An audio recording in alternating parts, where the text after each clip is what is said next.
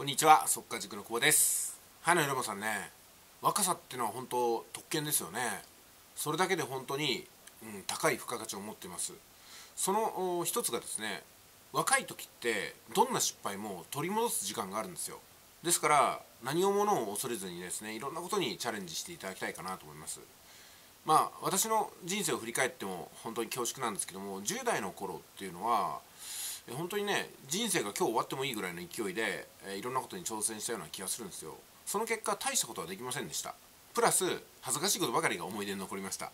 でも今48歳を過ぎてみると単なるほろ苦い思い出でそんなエピソードがあったことなんて誰も覚えてないばかりかえそんなことあったの？誰も知らねえよみたいな世界なんですよね。だから10代の頃ってうんそれこそね新聞に出たとか大事件を起こしたとかね人を刺しちゃったみたいなことでなければもう強い犯罪でなければですね、まあ、結構覚えてないもんだなと思うわけなんですよ。その時は絶望に暮れてもうダメだ立ち直れないと思ったことでもまあなんか223になったらケロッとしてるもんですよね。いやそれこそね1年経っても自分すらもう覚えてないようなことばかりだったような気がします。で20代ですよね。20代の時も同じような感じで勢いに任せてああでもないこうでもないと突っ込んでいった結果何が残ったかというと何も残ってないですね。いいことも悪いことも何も残ってなくて今ねこうやって40代過ごしてみて思い出すことがはっきり言ってないですね、うん、いいことも悪いこともこうやってね思い出にくれてみるといろいろとああそんなことあったなと思うんですけども普段は忘れてますね。だからいろんな挑戦をしてもいろんな失敗をしてもまあ、うん、せいぜいその程度ということなんでしょうね、えそれこそねあのー、私ぐらいの年になったら、うん、なんかその武勇伝を語りたくなるんですよ。でも語る武勇伝がないですね私なんて。覚えてないってね。まあちょっとね、えー、たまに思い出して話してみたら本当恥ずかしいことばっかりなんで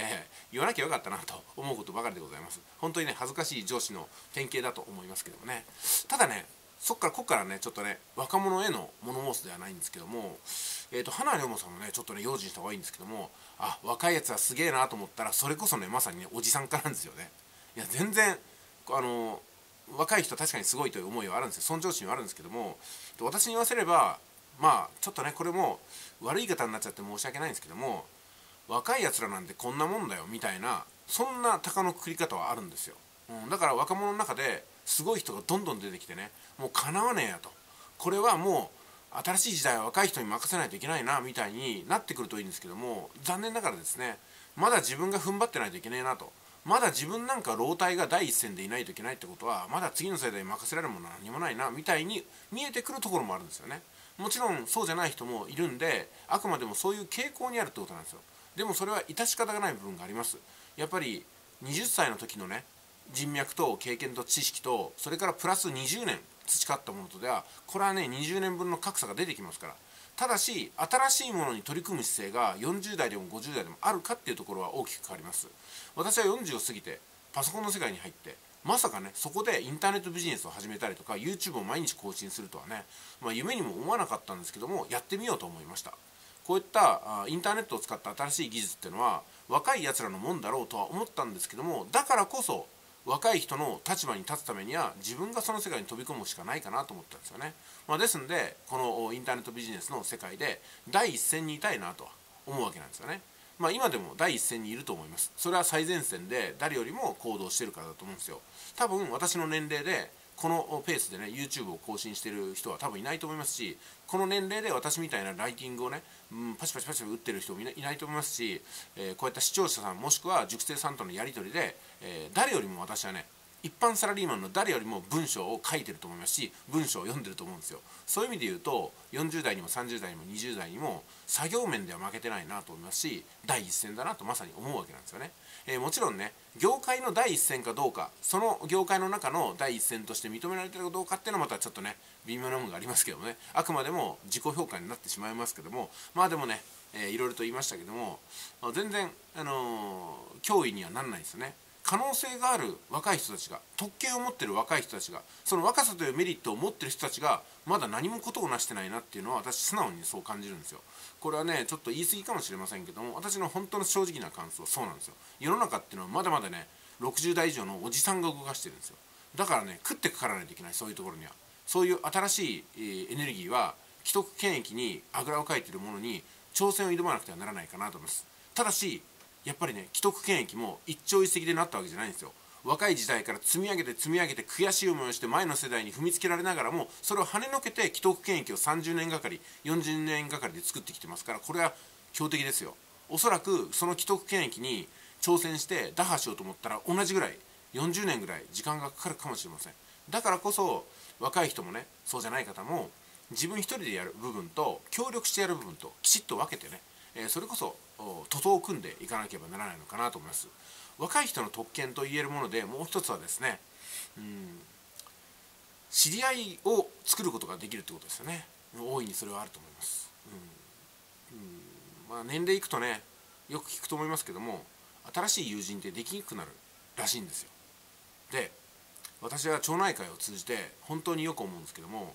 独居老人となるじゃないですか。なぜかね70代を過ぎると人と出会わなくなるんですよ。で一人ぼっちになるんですよ。寂しいから町内会が頼りになってくるんですよ。おかしいと思いませんか？70年80年人生生きてきてそれこそ友人を作るチャンスはたくさんあったんですよ。もっと言ったらですねもっと60代とか50代の世代とつながるチャンスはいっぱいあったわけですよ。なんでそれをしなかったのかなと思うところを見ると年齢を重ねたからいいってもんでもないなと思います。年齢を重ねるに従って20とか30とか下の世代ね。次の世代。もう本当子供たちの世代からもうこう慕われるようなね。それこそ五分で付き合っていけるようなそんな友人を作っていく時間を人生の中に持たなければならないのかなと思います、えー、私のね30代での目標っていうのがあったんですよ。それは達成しましたけども30代にして10代の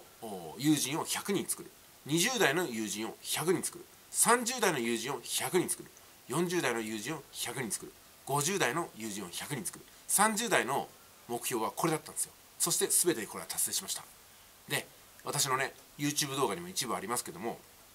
私はね地元の若い子を応援するそのプロジェクトをいくつか手がけていましてそのうちの一つがああの小学生中学生高校生のアイドル志望の女の子をねどういうふうに手伝っていけるかなってことでまあ、その一部としてですね広島ロコドルフェスティバルって私が主催してるわけではなかったんですよ。スタッフ参加をしてですねそちらの方で、えー、しっかりとね、えー、アイドルさんを支えてきていたかなというところでございます。まあそこでねできたあ思いや友人っていうのが私のね10代の友人を100人を作るのうちの大半を占めていたかなと思うんですね。60人ぐらいはそこでできましたからね、まあ、そういうふうに40代差し掛かった自分でも10代との関係を作ることができるっていうのは圧倒的な貢献なんですよね。圧倒的に見返りを求めずにもういつも裏方でやってあげると。いつもお父さんお母さんよりも気が利く存在。そういうふうなね名の知れない、えー、まあ縁の下の力持ちを自分から自ら買って出るってことを徹底的にそのそれこそね数年がかりでしないとできないと思いますけども私はそれをねやる価値があると思いますね、